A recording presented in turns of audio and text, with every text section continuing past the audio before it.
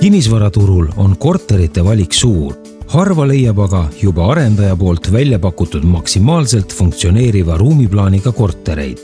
läbimõeldud väike korter tundub avar ja on üllatavalt elatav. ühte sellist eeskujulikku korterit vaatamegi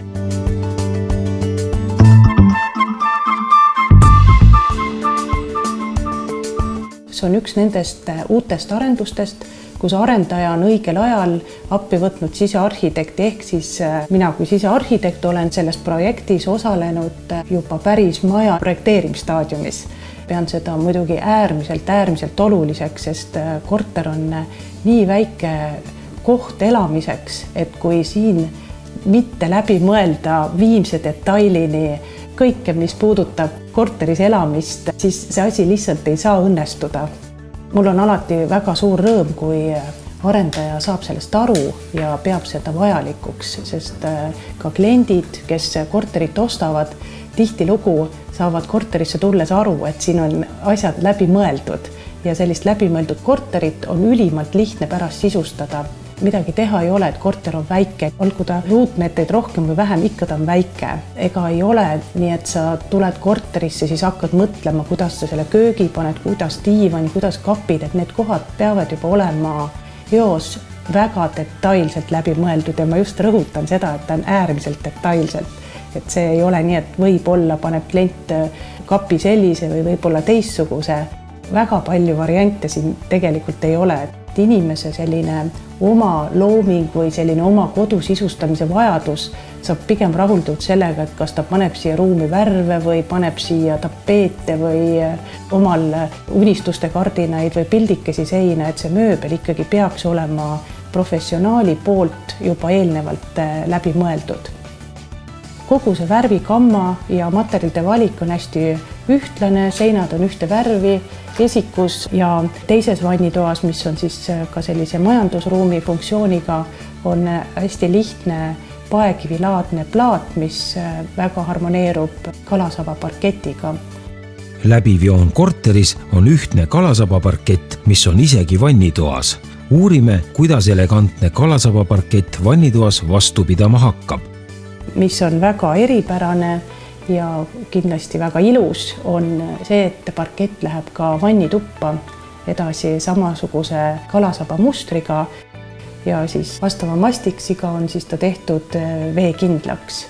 Fine Floors kasutab paigaldusel ja töötlemisel kindlaid mastikseid ja õlisid, mis on omavahel nii tugevas koostöös, et põrand on hiljem praktiliselt hooldusvaba. põhivannituba, kuhu on siis sissepääs magamistoast, et äh, selle vannitoa olemus on siis selline, et ta haakuks hästi magamistoaga, garderoobiga, et need materjalid on ühesugused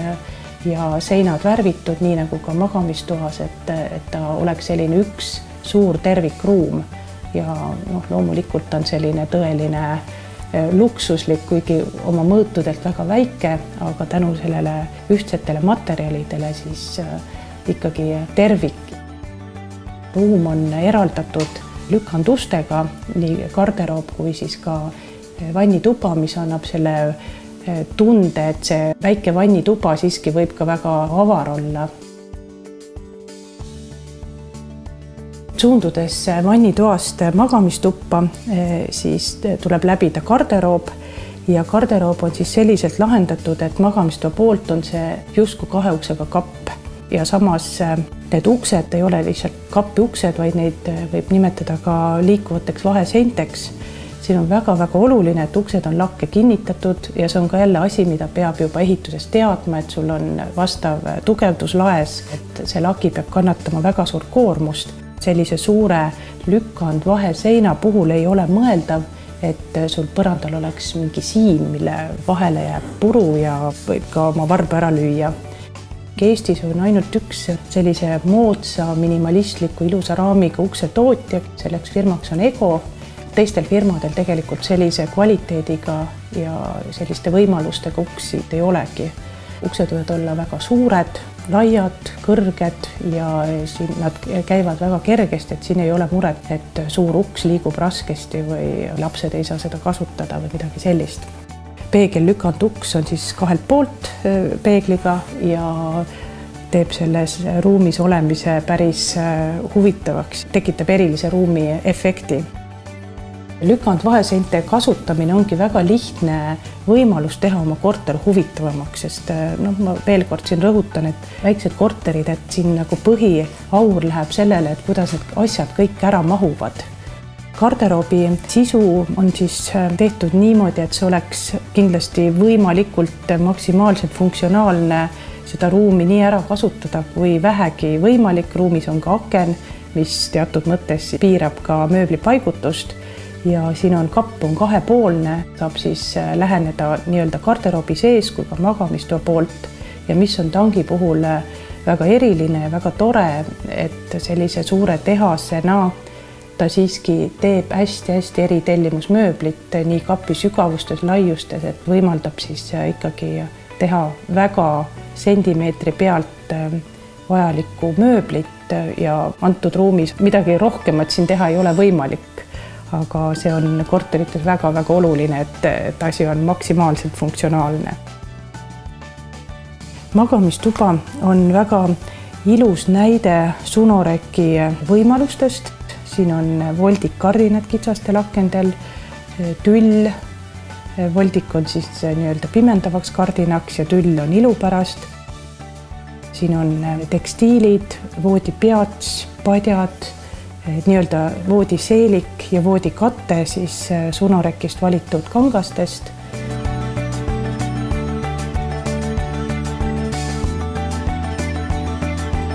Suundudes siis magamistoast elutuppa, et natuke seda korteri avarustunnet suurendada, on ka siin lükanduks. siin on näha, et ei ole näha ukse siini ja uks kinnitub väga väiksel alal seina peale ja ükskõik, mis asendis see uks on, ta on siis puhas plank seina peal. niisiis, korteri privaatne pool, garderoobi ja vannitoaga magamistuba kompaktseks omaette olemiseks teine avalikum ruum, kuhu ka külalistel asja, avatud planeeringuga elutuba, köök, esik, lisavannituba ja kabinet see köök on siis äh, ka planeeritud projekteerimise käigus, et siin kliendil midagi nagu väga mõelda ei olnud, sest eh, noh, juba see kööginišš on tehtud selline, et siia ikkagi mahub täpselt ära külmik ja ahi ja siis esiku poole jääb esikunišš. siin on põhimõtteliselt nagu üks köögilahendus. Kuna see ruum noh, hiigelsuur ei ole, aga eks ta on niisugune täpselt paras ja siis ta ongi tehtud selliselt, et eh, söömine on leti taga ja sealt leti tagant on ka siis vaade õue diivan leti ees, vaade telekale õue, et ikkagi nagu ühes suunas on nii-öelda see elu. köök on valge, köök peab seina ära sulanduma, mingit kontraste ma kindlasti selles köögis ei kasutaks juba sellepärast, et see ruum on suhteliselt väike, et kõik värvid, mis ruumi tulevad, need tulevad juba elutuppa. kapi uksed on valged, tööpind on valge, tehnika on valge, tehnikas on kasutatud Dietrichi valget pliidiplaati De Dietrich on üks väheseid või võib-olla isegi ainus äh, tehnikafirma, kellel on täiskomplekt valget tehnikat, sealhulgas ka kohvimasin ja De Dietrichi pliidiplaat on hästi valge, mis mulle väga meeldib, et tihti on need valged sellised nagu sinakad või, või mingi tooniga, aga De Dietrich on tõesti lumivalge väga hea materjal on Staron, seda saab kasutada nii köögi kui ka vannitoa tasapindadeks. tore on see, et kõik on ühes tükis, tagasein, valamu, et siin ei ole puugivahesid, siis tema väga suur teine eelis on, et kui siis eh, kivi või laminat tööpinda saab teha kuni kolm meetrit, siis Taroni tööpinna pikkus on limiteerimata, et ilma ühenduseta võib see tööpind olla ükskõik kui pikk tahes, lihtsalt tähtis, et saaks teda ruumi tassida. Ja vajalikud ühendused saab teha koha peal, neid ei ole hiljem näha ja nad ei tule ka töö käigus kunagi välja. et see Staroni suur eelis on see, et seda saab mõne aja pärast töödelda, noh, toon siin näite, kümne aasta pärast on vaja korter müüa või tehakse remont, siis äh, see tööpind äh, siis peale töötlemist näeb välja nagu uus samuti on see tööpind väga praktiline ka vannitoas, just nimelt kui teha kapid vannituppa nii-öelda töötasapind koos valamuga, kõik on ühes tükis, valamu tööpinda saab teha nii pikka nii laia, kui täpselt vaja on. ja valamud sellise kujuga, kas siis ümmargune, kandiline, pehmemate vormidega, et äravoolu saab ka lahendada nii, nagu soov on. tööpinnad ei ima endasse happeid, aineid, väga vastupidavad ja kergelt töödeldavad köögis on aktsendiks, küll mitte värviaktsendiks, aga aktsendiks oma kuju poolest siis Hector Lightist valgustid, kolm valgustit, kõik on siis erineva vormiga milliseid valgusteid siis kasutada, kui läheb valikuks, et leida see üks tõeline ajatu valgusti oma koju? minu lemmik on kobarvalgusti, see on suhteliselt uus lähenemine, kuigi seda võib ka nimetada väga retrolikuks. Tegelikult ei ole siin midagi uut, aga praegusel ajal on turule tulnud väga palju väga ägedaid stiilseid erinevate materjalidega valgusteid, mis koosnevad nagu eri vormi, eri materjalidest, isegi äh, siin võib ka erinevaid disaine kokku panna. siin on üks imeline morosiini valgusti, et seda saab äh, äh, erinevalt siis ruumi paigutada erinevate kuplite arvuga ja noh, ta on ülimalt graafiline ja imeilus minimalistlik disain, aga samas väga atraktiivne, silmatorkav ja täiesti nii-öelda pretensioonitu imeilus valgusti ja ülihea valguskvaliteediga väga tore retrohõnguline valgusti, kus siis tuleb äh, vool ühest kohast, aga samas võib kaabli pikkuse ulatuses siis nii-öelda valgustit paigutada kuhu iganes ja ka siin on, saab kombineerida erinevate valgusti arvuga, erinevas suuruses, et äh, tõsine, tõsine disainielement ja, ja samas jälle ka väga funktsionaalne, praktiline tõsiselt päästev lahendus, kui on vool valesse kohta veetud nagu selle valgusti puhul näeme, et kaabel on täiesti üks osa valgusti disainist, et ei ole vaja seda häbeneda ja peita. jälle imekaunis kobarvalgusti, siin on kasutatud vaske, hõbedat, kuldset klaasi, seda valgustit saab jälle kombineerida, teda võib panna ühte punkti või siis panna pikalt äh, üle terve laua, et siin on hästi-hästi palju erinevaid võimalusi. Ja jälle me näeme, et siin on omapärane kaabel, mis on ka täiesti valgusti disaini element.